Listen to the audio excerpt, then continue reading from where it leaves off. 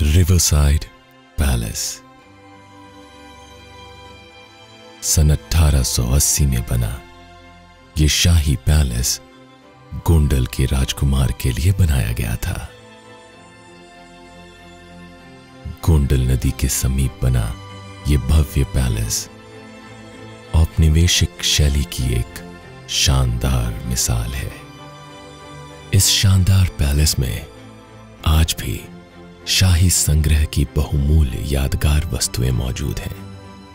आज ये शाही इमारत एक विरासत होटल है, जिसमें रहकर देश विदेश के पर्यटक गोंडल रियासत के शाही इतिहास को महसूस करते हैं।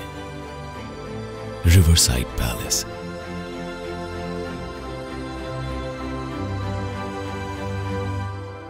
Come back to life come to Gujarat.